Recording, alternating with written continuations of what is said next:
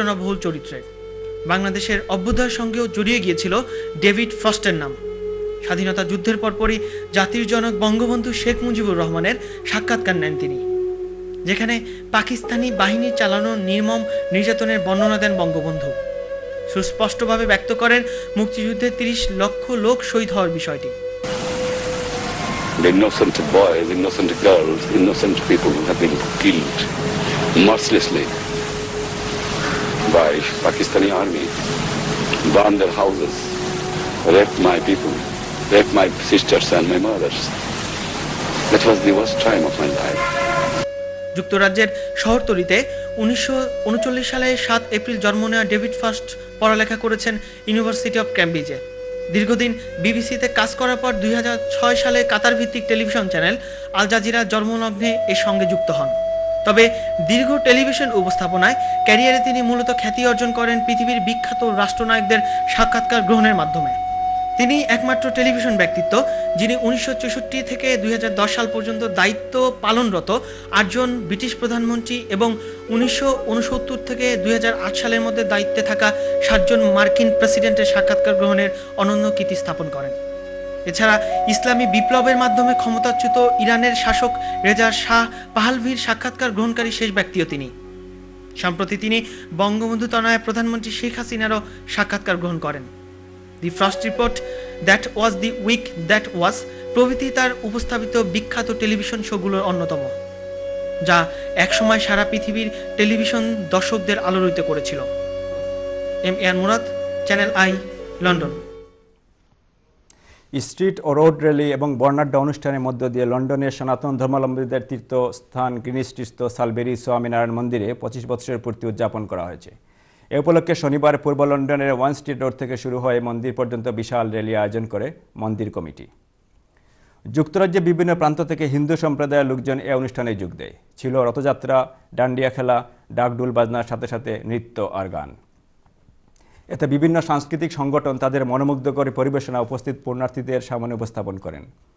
মন্দিরে দিনব্যাপী চলে পূজা অর্চনা, নানা খাবারের আয়োজন। মন্দির কমিটি ছাড়াও নিউহাম কাউন্সিল, স্বামীনারায়ণ মন্দিরের পঁচিশ বছর পূর্তিতে সব ধরনের সহায়তা প্রদান করে। র্যালিতে অংশ নিয়ে এই অনুষ্ঠানকে স্বাগত জানান স্থানীয় MP Stephen Timms, councillor Rahima Rahman, Nakul Das, Mujibur Rahman প্রমুখ।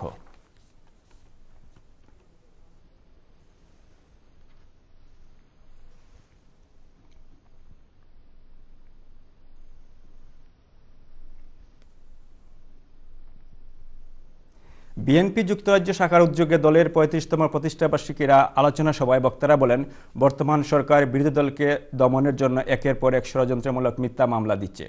তারা অবিলম্বে আগামী সাধারণ নির্বাচনে তত্ত্বাবধায়ক সরকার ব্যবস্থা পুনর্বহালের জোর দাবি জানিয়ে বলেন, এই সরকারকে আর জনগণ চায় না।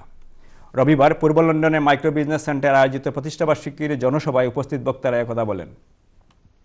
সংগঠনের সভাপতি শাস্তা চৌধুরী কুদ্দুসের সভাপতিত্বে ও সাধারণ সম্পাদক কয়সর এম আহমদের পরিচালনায় অনুষ্ঠিত আলোচনা সভায় প্রধান অতিথির বক্তব্য রাখেন বিএনপির কেন্দ্রীয় আন্তর্জাতিক সম্পাদক মাহিদুর রহমান। বিশেষ অতিথি হিসাবে বক্তব্য রাখেন যুক্তরাজ্য বিএনপির সিনিয়র সহসভাপতি আব্দুল হামিদ চৌধুরী, সহসভাপতি আবুল কালাম আজাদ, কেন্দ্রীয় নির্বাহী কমিটির সদস্য মেজর মিজারুর রহমান, অবসরপ্রাপ্ত যুক্তরাষ্ট্র বিএনপির সভাপতি আব্দুল লতিফ সম্রাট যুক্তরাজ্য বিএনপির সাবেক সাধারণ সম্পাদক এম এ মালিক, বাংলাদেশ স্বাধীনতা ফোরামের কেন্দ্রীয় সভাপতি আবু নাসের রহমতুল্লাহ প্রমুখ। আলোচনা সভা শেষে পঁয়ত্রিশতম প্রতিষ্ঠাবার্ষিকী উপলক্ষে একটি কেক কাটা হয়। এরপর একটি বর্ণাঢ্য র্যালি ব্রিকলেন থেকে শুরু হয়ে আলতাবালি পার্কে গিয়ে শেষ হয়। কমিউনিটির বিভিন্ন ধর্মবর্ণের বাসিন্দাদের অংশগ্রহণে আজ সোমবার পূর্ব লন্ডনের ব্রমলি বাই বো ওয়ার্ডে অনুষ্ঠিত হয়েছে ঈদ পুনর্মিলনী অনুষ্ঠান। জানা যায় কমিউনিটির অন্যান্য বাসিন্দাদের সাথে বাঙালি বাসিন্দাদের দূরত্ব কমান এবং বাঙালি ঐতিহ্যবাহী অনুষ্ঠানগুলো তুলে ধরাই এ পুনর্মিলনীর মূল লক্ষ্য। বিপুল সংখ্যক স্থানীয় বাসিন্দাদের অংশগ্রহণে অনুষ্ঠিত এই ঈদ পুনর্মিলনী অনুষ্ঠানে অতিথি হিসেবে উপস্থিত ছিলেন সাবেক মন্ত্রী, পপলার ও লাইমহাউস থেকে নির্বাচিত MP Jim Fitzpatrick. Bromley by Bow সেন্টারের চিফ এক্সিকিউটিভ রবার্ট টিমবলি ও স্থানীয় কাউন্সিলর হেলাল উদ্দিনের সার্বিক তত্ত্বাবধানে এতে অন্যান্যের মধ্যে উপস্থিত ছিলেন লেবার মেয়র পদপ্রার্থী ও গ্রেটার লন্ডন অথরিটির সদস্য জন বিক্স টাওয়ার হ্যামলেটস কাউন্সিলের speaker councillor Lesley Pavitt councillor Janet Rahman প্রমুখ। ঈদ পুনর্মিলনী অনুষ্ঠানের আয়োজনে ছিল ব্রমলি বাই ব সেন্টার। একত্রিশে আগস্ট উনিশশো একাত্তর মৌলভীবাজার জেলার শ্রীরামশীবাসীদের কাছ এক কালো দিবস। ওই দিন দুঃখিত। ওই দিন পাক হানাদার বাহিনী তাদের দুশো রাজাকার আলবদর আল শামসগঙ্গদের সহযোগিতায় শ্রীরামশী গ্রামকে স্বাধীনতার পক্ষের গ্রাম হিসেবে চিহ্নিত করে গ্রামের নিরীহ মানুষদের শ্রীরামশী গ্রামে বাজারে জামায়াত করে পার্শ্ববর্তী দুইটি বাড়ির পুকুর পাড়ে নির্মমভাবে হত্যা করে। শ্রীরামশী ওয়েলফেয়ার অ্যাসোসিয়েশন ইউকে প্রতিষ্ঠা লগ্ন থেকেই যথাযোগ্য মর্যাদার সাথে পালন করে আসছে। এরই ধারাবাহিকতায় শ্রীরামশী ওয়েলফেয়ার অ্যাসোসিয়েশন উদ্যোগে শহীদদের স্মরণে এক মিলাদ মাহফিল শনিবার ব্রিকলেন জায় মসজিদে অনুষ্ঠিত হয়।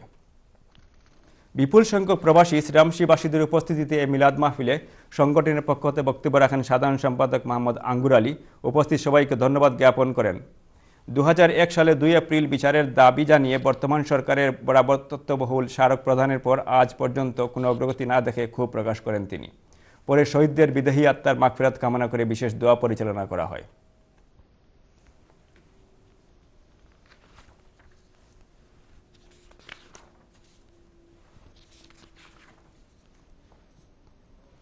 লন্ডনের একমাত্র বাংলা রেডিও স্টেশন বেতার বাংলার শ্রোতা ফোরামের ঈদ পুনর্মিলনী অনুষ্ঠান রবিবার পূর্ব লন্ডনের স্থানীয় একটি সেন্টারে অনুষ্ঠিত হয়। সংগঠনের সভাপতি মুহিব চৌধুরীর সভাপতিত্বে এতে প্রধান অতিথি হিসেবে উপস্থিত ছিলেন বেতার বাংলার কর্ণধার নাজিম উদ্দিন চৌধুরী। শ্রোতা ফোরামের সাধারণ সম্পাদক আবিদ হোসেন অপুর শুভেচ্ছা বক্তব্যের মধ্য দিয়ে শুরু হওয়া অনুষ্ঠানে অন্যান্যের মধ্যে বক্তব্য রাখেন জয়নাল আহমদ খান, আতাউর রহমান খান, শাহিন। রোজা চৌধুরী ও রনি ইসলামের যৌথ সঞ্চালনায় ঈদ পুনর্মিলনী অনুষ্ঠানে নাচ, গান, জাদু, নাটিকা, কৌতুক ছাড়াও ছড়া এবং কবিতা উপভোগ করেন উপস্থিত সুদীজনরা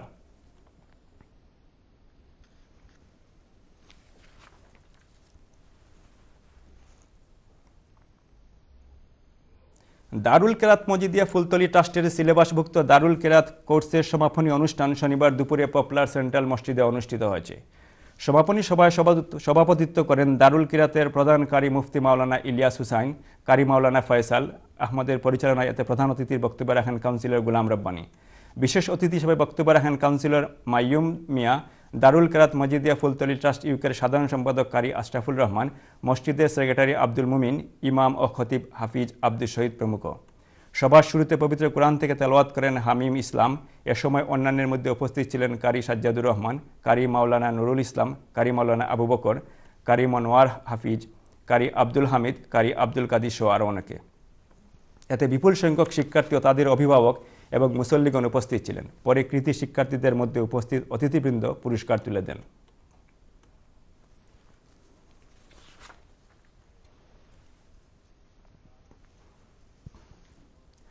যুক্তরাজ্য সফররত একাটুনা ইউনিয়নের চেয়ারম্যান মৌলভীবাজার জেলা চেম্বার অফ কমার্সের সহসভাপতি আবু সুফিয়ানকে সংবর্ধনা প্রদান করা হয়েছে। রবিবার সেন্ট্রাল লন্ডনের ডায়মন্ড স্ট্রিটের স্থানীয় একটি অভিজাত রেস্তোরাঁয় এক সভা থেকে তাকে সংবর্ধনা প্রদান করা হয়। কমিউনিটি নেতা আব্দুল আহাদ চৌধুরীর সভাপতিত্বে এবং কমিউনিটি নেতা মোহাম্মদ আহসানের পরিচালনায় এতে বিপুল সংখ্যক একাটুনা ভাষী ও লন্ডনের বাঙালি কমিউনিটির বিশিষ্টজনরা উপস্থিত ছিলেন। এতে প্রধান অতিথি বক্তব্য রাখেন যুক্তরাজ্য আওয়ামী লীগের সাবেক সভাপতি ও বর্ষিয়ান রাজনীতিবিদ শামসুদ্দিন খান। বিশেষ অতিথির বক্তব্য রাখেন যুক্তরাজ্য আওয়ামী লীগের সিনিয়র সভাপতি জালালউদ্দিন, যুগ্ম সাধারণ সম্পাদক আনোয়ারুজ্জামান চৌধুরী, কমিউনিটি নেতা অ্যাডভোকেট হারুন রশিদ, আব্দুল মান্নান, আব্দুল গফুর, মাইদ মিয়া, কামাল উদ্দিন, নুরুল দাস, আসম মিজবা সহ আরও অনেকে।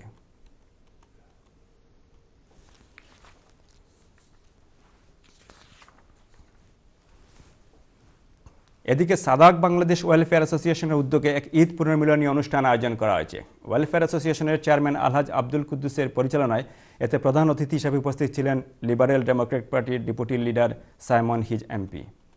বিশেষ অতিথির বক্তব্য রাখেন কাউন্সিলর জন থান মিচাল। হাজি ফরিদ আহমদের পবিত্র কোরআন তেলাতের মধ্য দিয়ে শুরু হওয়া অনুষ্ঠানে অন্যান্যের মধ্যে বক্তব্য রাখেন ডাক্তার এস হুদা, জামাল আহমদ প্রমুখ।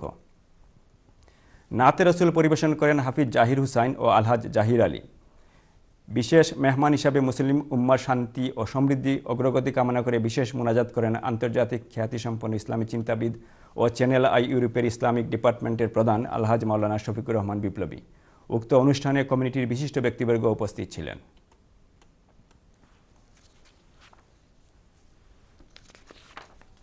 পূর্ব লন্ডনের প্রাণকেন্দ্র হোয়াইট চ্যাপেলের পাতাল রেল স্টেশনের পাশে অবস্থিত বাঙালি মালিকানাধীন কেয়া শাড়ি অত্যন্ত সুলভ মূল্যে এখানে শাড়ি, লেহেঙ্গা থ্রি পিস সহ নিত্য প্রয়োজনীয় যাবতীয় পোশাক পাওয়া যায়। এদিকে দোকানটির এক যুগপূর্তি উপলক্ষে দেওয়া হয়েছে দু সপ্তাহব্যাপী বিশেষ মূল্যহ্রাস বা সেল গত ত্রিশে আগস্ট থেকে শুরু হওয়া এই সেল চলবে আগামী পনেরোই সেপ্টেম্বর পর্যন্ত। সেল উপলক্ষে কেয়া শাড়ির পক্ষ থেকে নানান ডিজাইনের শাড়ি থ্রি পিস সহ মহিলাদের যাবতীয় পোশাক সুলভ মূল্যে বিক্রি করা হচ্ছে। আর ক্রেতা সাধারণকে সপরিবারে উপস্থিত হয়ে সেলের সুবিধা গ্রহণের আহ্বান জানিয়েছেন কেয়া শাড়ি শপের কর্ণধার ফারুক আহমদ।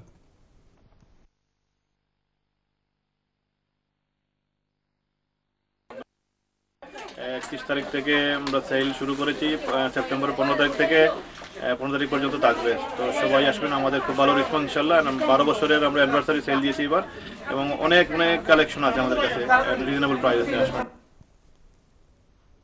আপনারা দেখছেন আমাদের খবর প্রচারিত হচ্ছে চ্যানেল আই ইউরোপ থেকে। যাচ্ছি ছোট্ট একটি বিজ্ঞাপন বিরতিতে, ফিরে এসে থাকছে